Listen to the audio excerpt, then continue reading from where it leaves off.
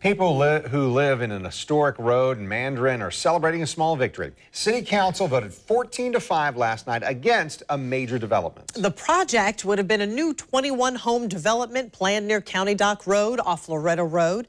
Neighbors have been fighting the idea for months, saying the development would just bring more traffic and safety concerns. Channel 4's Francesca Amiker spoke with those neighbors. So, Fran, if they opposed it, we can only imagine their feelings of relief.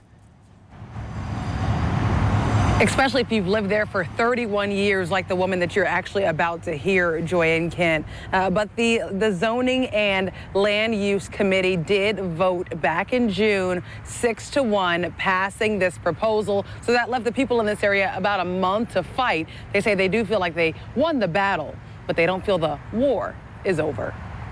We are grateful and relieved that the council heard us and voted it down last night. Rosalind Sandell is breathing a sigh of relief after City Council voted against a new neighborhood that would have been right next to her home on County Dock Road.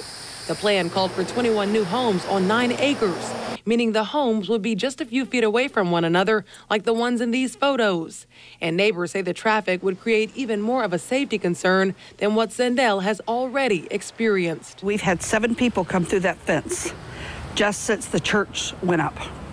My husband has even put cement in the post, or we would have had people in our dining room already. David Schwab also lives in the area and says he doesn't believe this fight is over. And it's also about setting precedents for the area at large. Um, trying to remove power lines, put them underground, adding sewer where we have septic systems now. Um, but that would require them to remove all the oak trees along Mandarin Road, and we really don't want that to happen. They were going to wipe out 75% of these historic oaks over here. And the lots were so tiny and the houses so massive, there was no room to even replant what they needed.